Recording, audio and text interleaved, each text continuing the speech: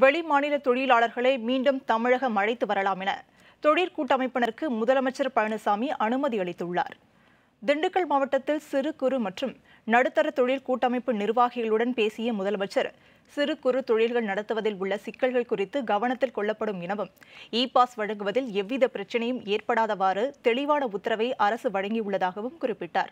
தொழிற்சாலையில் பணிபுரிவோர் தங்களது பெயர் முகவரி ஆகியவற்றை எழுதி கொடுத்தால் மாவட்ட நிர்வாகம் உடனடியாக அடையாள அட்டை வழங்கும் எனவும் அதை பயன்படுத்தி தொழிற்சாலைகளுக்கு செல்லலாம் எனவும் மாதம் ஒருமுறை புதுப்பிக்க வேண்டும் எனவும் முதலமைச்சர் கூறியுள்ளார். தொழில் நிறுவனங்களில் பணிபுரிந்த வெளிமாநில தொழிலாளர்கள் மீண்டும் தமிழகத்தில் பணியாற்ற விரும்பினால் தாராளமாக அவர்களை அழைத்து வரலாம் என கூறிய முதலமைச்சர். அவர்களின் விவரங்களை நிறுவனங்கள் வழங்கினால் மாவட்ட ஆட்சியர் இ பாஸ் வழங்குவார் என கூறினார்.